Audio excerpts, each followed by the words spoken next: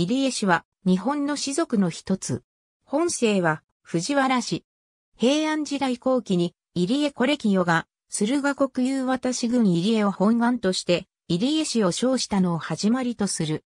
太平記によると、元寇元年、後醍醐天皇の笠木山挙兵の際に、駿河国入江荘の地頭、入江春林が1200余期で東幕軍に参加している。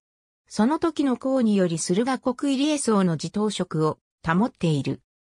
建武2年の中仙台の乱で、敗れて鎌倉から逃れてきた足利忠義と成長親王を北条氏の軍勢から守り、て腰軸まで退かせ、投下してきた足利尊氏が乱を鎮圧、その後足利氏に属した。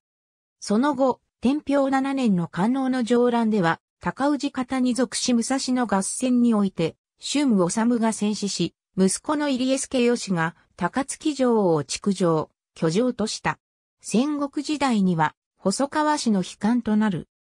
しかし両細川の乱で、細川氏が弱体すると勢力を強めた三好氏と行動を共にするようになり、永62年1月の本国寺の変で春次は、三好三人衆と共に、足利義明の屋敷を攻め、中止、以後は、高槻城へは、和田小政が入った。江戸時代に入り、春次の古慶衆と影光は、肥後細川氏の家臣となり、維新を迎えた。ありがとうございます。